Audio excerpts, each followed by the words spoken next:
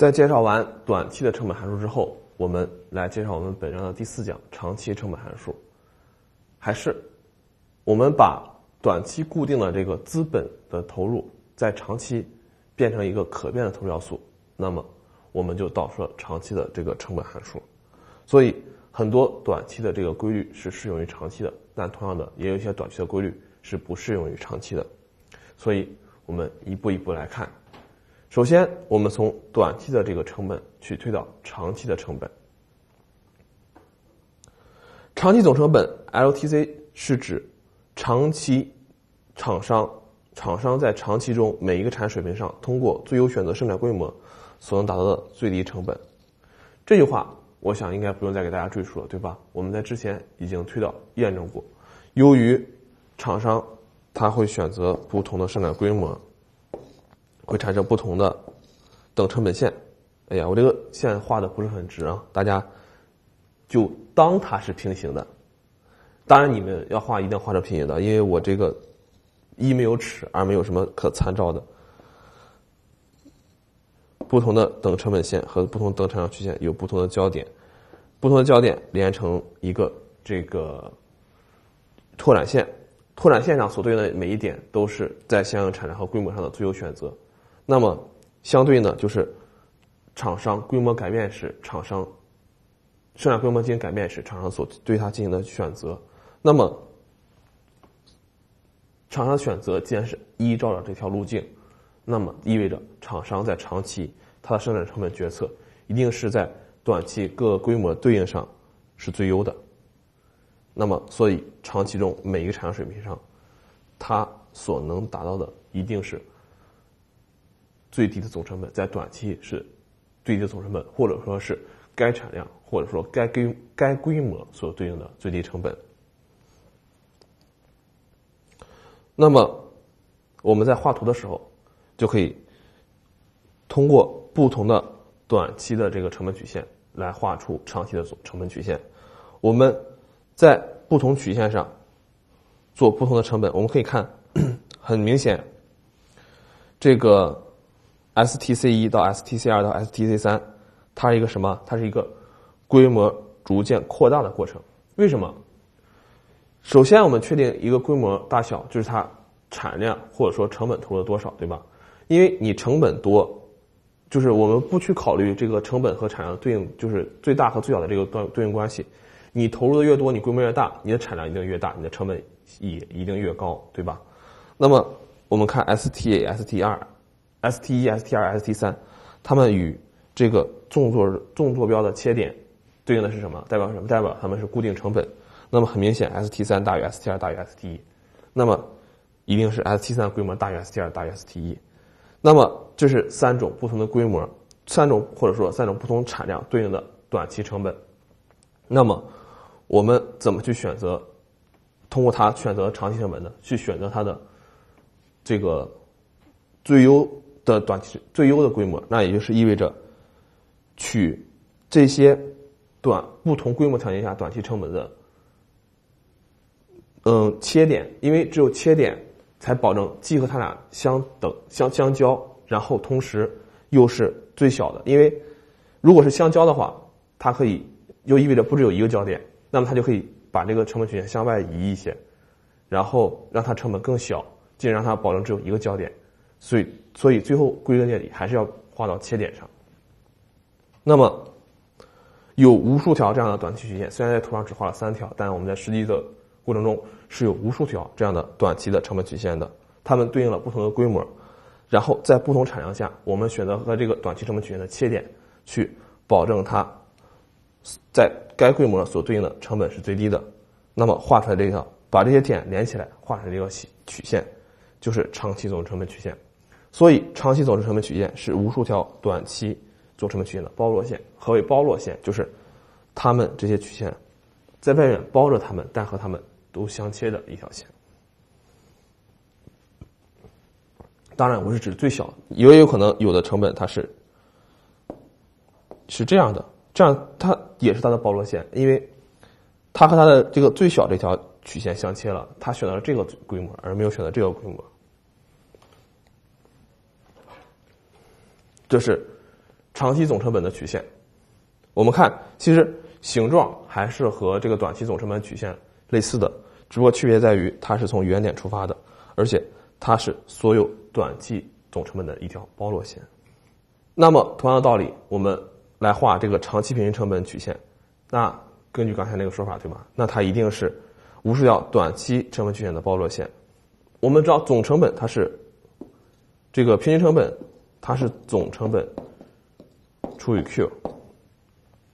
那么相对应的，总成本是在相对相应的这个产量或者规模下的最低成本，那么平均成本也一定是在相应的产量或者规模下的最低平均成本。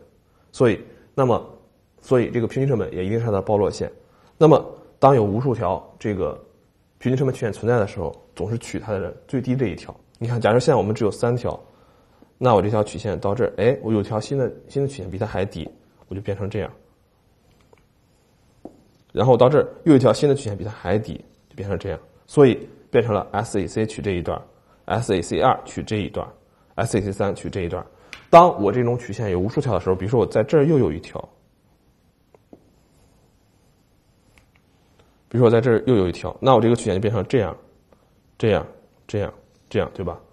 所以说，当我这一条曲线有无数条的时候，就会变成这种的一个曲线，然后它和所有的这个。最下面的这个平均成本曲线有切点，这样就画出了长期的平均成本曲线，它是所有的短期平均成本曲线的一个包络线。那么在长期，我们知道它涉及到规模的调整，规模调整也就是说产量的这个变化，那么就涉及到另外一个问题，就是规模经济的问题。规模经济是指什么呢？是指企业在生产扩张的初级阶段。厂商由于扩大生产规模而使得经济效应提高，这便是规模经济。在生产规模扩大到一定规模以后，厂商会继续扩大生产规模，就使得经济效应下降，即规模不经济。那么表现在就是我们的平均成曲本成本曲线，随着规模扩大，它是有一个下降的过程；随着规模上升，经济效益下降，它成本曲线上升。那么。这个在现实的经济生活、经济生活中也有很多这样的例子，比如说，这个我们前几年过过剩过剩的这种光伏产业，知道你知道大家知道这个光伏它刚出来的时候，刚出现的时候，其实它发展很困难，因为它很多技术不成熟，而且应用的很少。但是随着国家的推广以及它的技术逐渐成熟。这个光伏开始进入发展快车道，对吧？这个时候它就是一个规模经济的阶段。但是大家发现，哎，这个东西好，就都开始发展，都开始办相应的企业，然后就产生了这个产能过剩，对吧？光伏的产能过剩，很多这种光伏板或者相应的光伏产品积压卖不出去，那么就达到了一个规模不经济。规模经济和规模不经济，它是一个什么样的原理呢？在最开始，我们知道，其实企业的生产是很复杂的，尤其是一些工业生产品的生产，它需要设备，需要这些技术，需要一些相关的原材料，对吧？那么在最开始，它可能只有一家或者说几家的时候，或者说这个企厂商规模很小的时候，它生产是比较困难的。随着它的规模扩大，它的成本会逐渐下降。就像我们之前讲的那个，嗯。大家可以联系起来去理解那个固定成本的例子，因为尤其是像一些工业企业，它前期的追加投入是非常高的。那么逐渐它的规模扩大以后，它就这种规模经济显现出来。尤其是一些工业企业，它需要达到一定规模才能真正发挥它的效益，这个时候才是规模经济的阶段。而随着它的规模逐渐扩大，比如说一些管理上的问题，比如说就像我们之前说的举的光伏的那个例子，它的产能过剩，使得它的产品进入价格的。价价价格的这种恶性竞争，那么就会进入规模不经济阶段。其实这种类似的例子在经济生活中是非常非常普遍的，但是它它它不一定完全适用于我们这个这个假定，但是它道理是一样的。比如说，我们经常会在新闻上看到说，一开始这个地方比较穷，然后政府说怎么办？那我们种一些，鼓励大家种一些一些。嗯，经济作物吧，或者种一些之前没种过的东西，比如说种一些柑橘，对吧？一开始一家两家的时候，这个柑橘卖的很好，然后靠着这个嗯扶贫的一些政策啊卖的很好。但是家家开始种柑橘，这个市场柑橘过剩之后，你就发现它会陷入陷入价格的恶性竞争，然后它这东西也卖不出去了。其实这个虽然不能完全设符合我们这个规模经济和规模不经济的这个假定，因为我们讲的是厂商扩大生产规模，对吧？而我们在说的是一个一个经济体，但是它的道理是一样的。这是给大家讲一下这个嗯规模经济和规模不经济这部分的一个问题。另外一个外在经济，何为外在经济？何为相对应的？那就有外部不经济。那么何为外部经济？何为外部不经济？外部经济是指企业的生产活动的外部环境得到改善，长期成本下降；外部不经济是指企业生产活动的外部环境恶化，导致企业的长期成本上升。它和这个规模经济有什么区别呢？规模经济是你在厂商生产的这个过程中，随着你的规模改变而发生的影响。规模经济跟你生产多大规模，跟你生产什么东西，跟你生产多少没有任何关系，它就单纯的是外部环境的改变。外部环境变好了，比如说你是一个汽车厂，你生产一个汽车，本来。你这辆车一辆都卖不出去，结果忽然有一天，全世界所有的汽车厂全倒闭了。那你这个汽车厂一根独苗，你岂不是随想怎么卖就怎么卖？那么你就是外部环境得到改善，所有的资源、所有技术全集中到你这个厂里来了，你的成生产成本下降，对吧？接还是举那个例子，你这个汽车厂突然有一天。说你这个汽车不合格，不仅这个尾气排放超标，而且还不安全，那你需要怎么办？你需要进行技术升级，对吧？就像你的外部环境恶化了，你需要技术升级，你需要重新去检查、重新去设计、重新怎怎么样？你的生产成本上升，这就是外在经济和外在不经济，它是一个企业生产活动的外部环境变化所影响的。注意，它和规模经济的这个区分。那么相对应的，它所带来的就是这个成本曲线的直接移动。外在不经济，你的成本曲线向上移；外在经济，你的成本曲线向下移。它是一个平移的过程。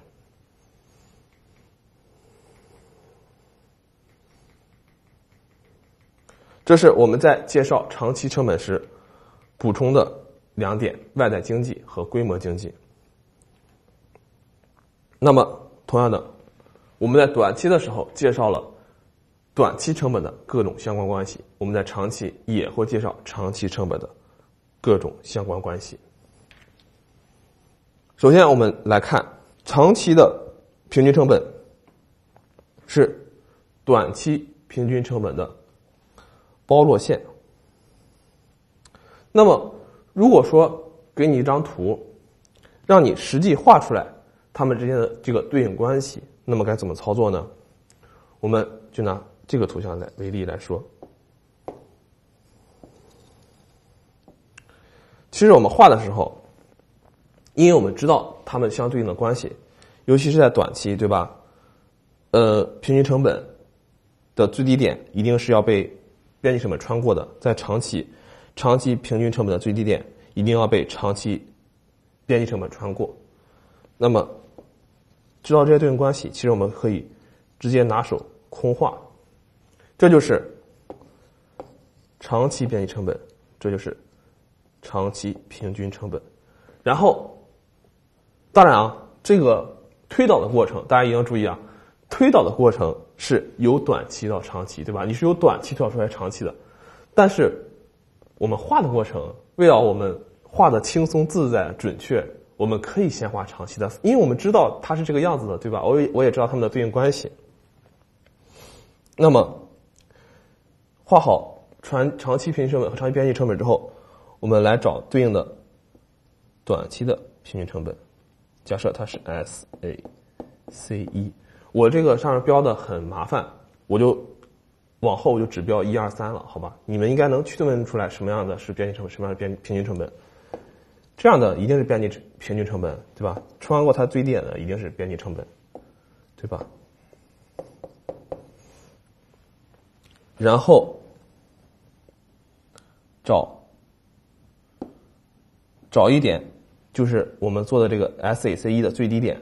这一点是什么呢？是它穿过的该规模的平均成本的最低点，对吧？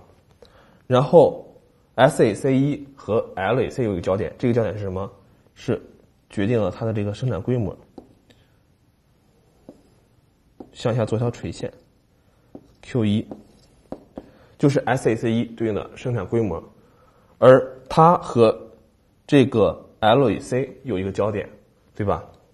这是第二个点。那么这个点 SAC 一的最最低点和它 SAC 一与 LAC 的交点向下做垂线与 MLMC 的交点，这两个点的连线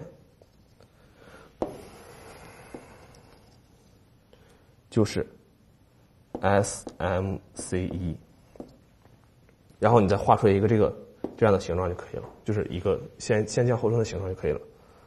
那么相应的，我们可以做出 SMC 二这个这个图像的点，对吧？就在这块的最低点，这个是最好做的，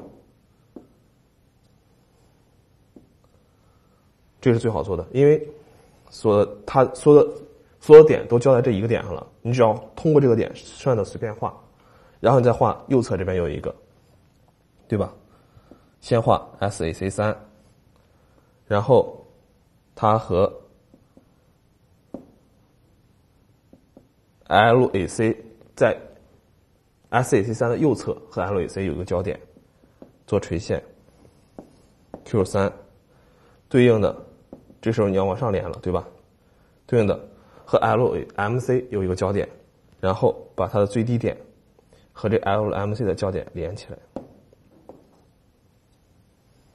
就变成了 S。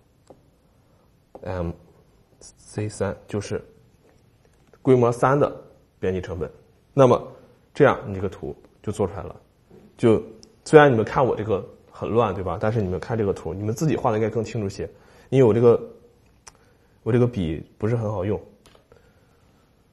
所以这就是这个图像做的过程。还是就简单给画一下啊，就是画出 S A C L M C 之后。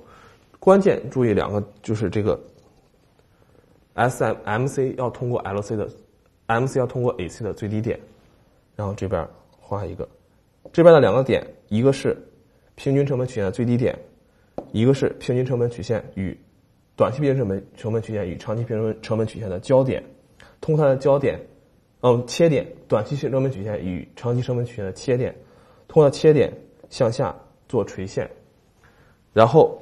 它与纵坐标的交点 Q 一就代表它的这个相对应规模的产量，然后与这个垂线，无论你向下还是向上延伸，它与长期边际成本曲线这个交点就是它的第二个点，然后把这两个点连起来，这个图像就做出来了。我们画好的这个长期成本曲线，通常来讲都是我们这个理论假设或者说。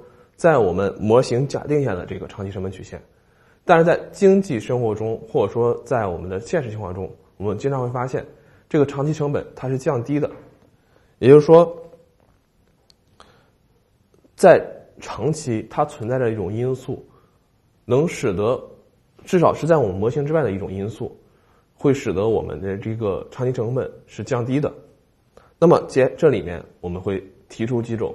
使长期成本降低的一个因素，第一个就是干中学，这个很好理解，对吧？就是一边干活一边学习，然后我通过干活获得积累，通过积累进一步促进我的干活，提高了我的生产效率。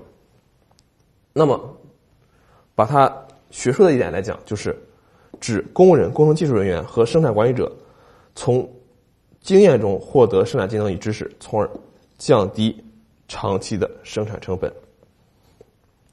然后这就是一个例子，就是每批机器设备劳动投入量和生产设备的累计批次，随着生产批次的这个提高，发现劳动投入量越来越低，这是一个很正常的现象，对吧？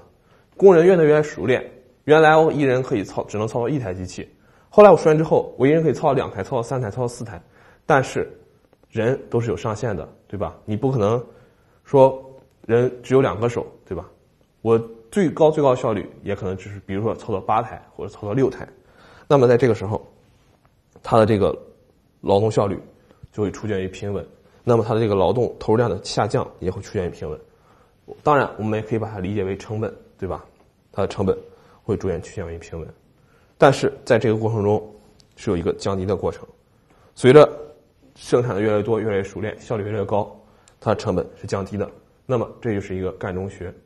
就是随着生产的增加，因为在长期嘛，长期它是一个长期，不仅意味着任何规模的任何这个投入要素都是可以改变的，认为也意味着它的时间是很长的，时间长就意味着劳动者是可以完成知识和经验和技能的积累的，那么知识、经验和技能积累就提高了他的劳动的生产效率，从而降低它的成本。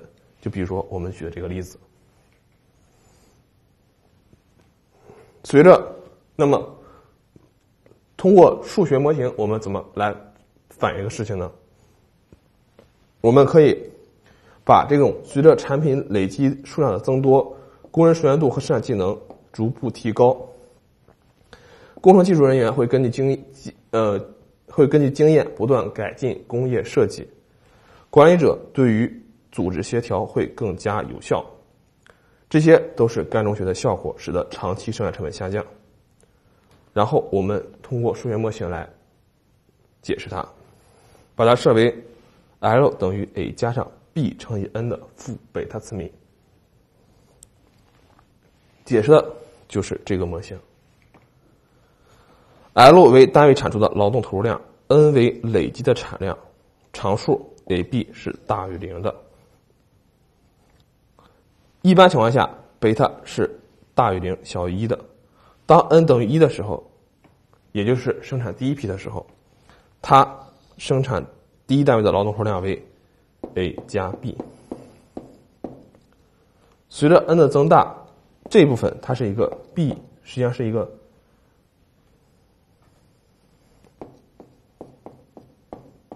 这部分，它实际上是表示为 b 比比上。n 的贝塔次幂，对吧？因为它是一个负贝塔次幂嘛，所以我们可以看到，因为 b 是大于零的，所以随着 n 的增加，b 是下降的。呃，这个式子的值是下降的。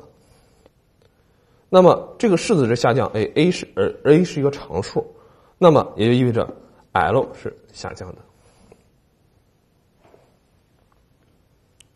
所以。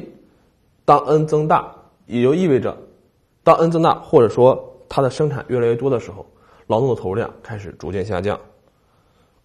如果 b 贝塔等于零，那么这个时候 L 就等于 a 加 b。这个时候，不管你生产多少，这个 b n 的负贝塔次幂都是不变的，那么 L 也是不变的，所以不存在学习效应。如果贝塔等于一，那当 n 趋近正无穷的时候，就有 L 等于 a。即学习效应得到充分的体现，L 等于 A 就是干中学所能达到的单位产出的最低劳动投入量，也就是最后它会趋近于水平。这是干中学这部分内容。当然，大家只需要重点理解：一、干中学的概念是什么；二、干中学会造成什么样的影响。怎么去解释或者阐述它？最后，这个相应的公式和条件，大家了解一下就可以了。那么，我们所谓的干中学，或者是称为学习效应，它和这个规模经济又有什么区别和联系呢？我们之前说了外部经济、外部部经济和规模经济的联系。那我们现在来看学习效应和规模经济它们之间的关系，在长期导致。平均成本下降的原因，既包括规模经济，也包括学习效应，但是两者的作用途径是不同的。通过图像上来看，学习效应它直接导致的是什么？是这种成本的这个直接下降。由于效应的学习效应的存在，我们呃这个产量衡量的是这一段时间内企业的产量。所以说，如果学习效应的存在，也就意味着，比如说同样的生产十单位的产品，由学习效应的存在，过去的成本是十，但是生产过了一段时间之后，大家的效率都提高了。本来一个人可以操作一台机器，现在一个人可以操作两台机器了，那我成本自然就下降了。假设我们还是假设只有劳动投入，就是把它尽量简化，那这个时候我的成本投入自然就只有五了，但是我的产量依然是这些，所以它是造成这个曲线的平行移动，就是直接向下移动。而规模效应它是造成了这个就在沿着曲线移动，有点类似于我们之前讲过的这个点的移动和曲线的移动。随着产量的增加，因为我们知道规模效应一定是随着产量变化而产生的。随着产量增加，它的成本逐渐的下降，这是规模效应。规模效应就是你，当你生产十单位的时候，只要有学习效应存在，它自然就会下降。而不管你学习效应存在不存在，只要你的这个产量增加，没有达到规模不经济的阶段。那么规模效应都会使这个成本下降，这是规模效应和这个学习效应所带来的不同的影响路径，大家一定要记清楚。学习效应带来的是这个成本曲线的移动，是曲线的移动，而规模效应它带来的是点在成本在这个曲线上移动，带来的是点的移动，点在曲线上的移动，是从沿着曲线变化的一个过程。同时还要注意的是，要保持它在规模经济阶段，不要在规模不经济阶段。我们对这章内容进行一个系统的梳理和总结。这一章我们的核心概念是成本。在最初，我们介绍了一下成本的相关概念，包括机会成本、沉没成本、显成本。隐成本、经济成本和会计成本。机会成本，我们强调的是，你进行一种生产的时候，这个要素还可以进行其他的生产，但是资源是具有稀缺性的。你生产了 A，就生产不了 B、C、D、E，那么你为了生产 A，就必须要放弃生产 B、C、D、E。你所你放弃的这些生产的东西，所能给你带来的最大收入，就是你的机会成本。放我生产 A。得十的收入，生产 B 得八的收入，生产 C 得六的收入，生产 D 得四的收入。那么我生产 A 的机会成本就是八。沉没成本是指你已经付出的一个成本，是指你在日后生产和经营中不需要考虑的内容。就比如说，是你上课迟到了，已经迟到的既定事实与你。之后上不上课没有关系的那部分时间，显成本和隐成本，一个是企业从别的地方拿来，他拿来他一些他自身所不具有的要素所支付的成本，和企业使用自身要素所要付出的成本。显成本和隐成本加起来就是经济成本，显成本单独是会计成本，收益减去会计成本是会计利润。收益减去经济成本是经济利润，而企业家为自己企业进行经营所支付的、所付出的这个管理者才能或者企业家才能，是计算在显成本中。企业家经营自己企业所获得的这个收益叫做正常利润，在完全竞争条件下，经济利润为零，但是正常利润是可以得到实现的。这是成本的相关概念。然后成本，按照我们通俗的这个通常的习惯，把它分为短期和长期。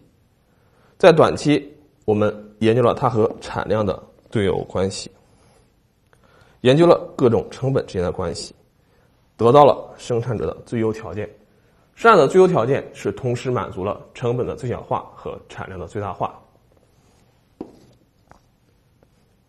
也就是边际技术替代率等于要素价格比等于边际产量比。这是这部分的条件，这是非常重要的一个内容。通过短期的各种成本曲线，我们还知道了短期各种成本的之间的关系。短期总成本它等于短期的可变成本加上短期的不变成本，把它们。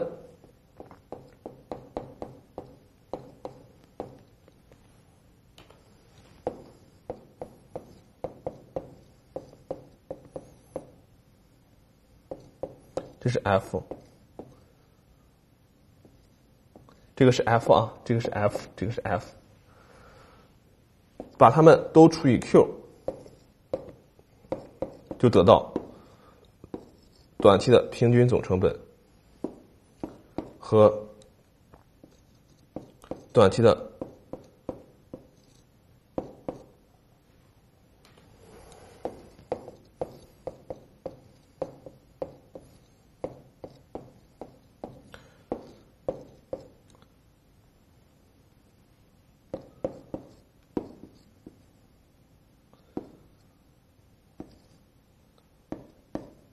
等于就得到短期的平均成本、短期的平均固定成本和短期的平均可变成本。同样的，短期固定平均固定成本和短期可变成本相加等于短期的成本。然后，短期的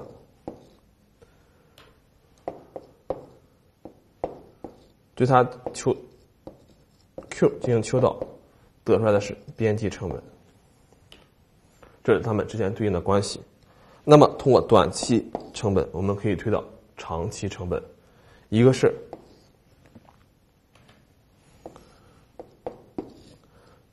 短期的这个成本的包络线，就是这个图样，我实在是不对，这个笔是。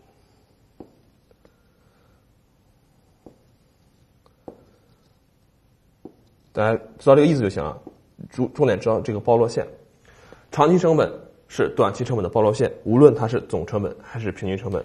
同样的，长期成本还和这个短期成本还有这个对应的关系，对吧？就是我刚才画的这个图像，记住通过这两个点的连线